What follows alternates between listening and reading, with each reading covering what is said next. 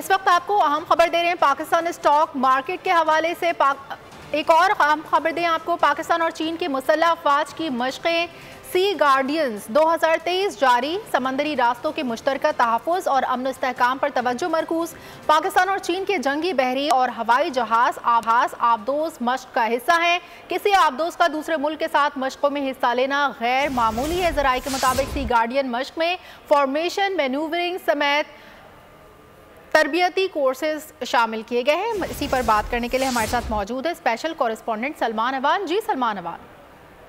जो, बिल्कुल, पाकिस्तान और चीन की जो बहरी अफवाज हैं, उनकी तारीख की सबसे बड़ी मशकें हैं, दो तरफा बड़ी मशकें हैं। सी गार्डियन 2023 जो कि इस वक्त शुमाली बहरा अरब में जारी हैं। इन मशकों का बुनियादी मकसद जो है पाकिस्तान की नेवी और चाइनीज़ नेवी के दरमियान जो इंटर ऑपरेटिबिलिटी है, उसको फरोग देना और उसके साथ साथ बहर हिंद जैसे एक स्ट्रेटेजिक मकाम के अंदर जो स्ट्रेटेजिक रास्ते हैं, समुद्री रास्ते हैं, उनको महफूज बनाना, बहरी कजाकी से टेररिज्म से, और इसके अलावा दोनों ममालिक के जो मुश्तर मकासद हैं, जो मुश्तर अमूर हैं, उनके ऊपर इन मशकों के अंदर खासतौर पर फोकस किया जा रहा है। इसके अलावा जो तरबियती कोर्सेज हैं स्पेशल ट्रेनिंग कोर्सेज हैं, इन मशकों के दौरान वो भी मुनद किए जा रहे हैं, जिसके अंदर हेलीकॉप्टर क्रॉस लैंडिंग है और इसके अलावा जो दीगर मुतल अमूर है मुतल शोबे हैं, उनके ऊपर फोकस किया जा रहा है। उसके अंदर वी बी एस एस है और इसके अलावा मुश्तर सर्च एंड रेस्क्यू ऑपरेशन जो है वो भी किए जा रहे हैं। और जैसा कि आपने कहा कि चीनी बहरिया की एक सबमरीन जो है वो भी इन मशकों के अंदर हिस्सा दे रही है।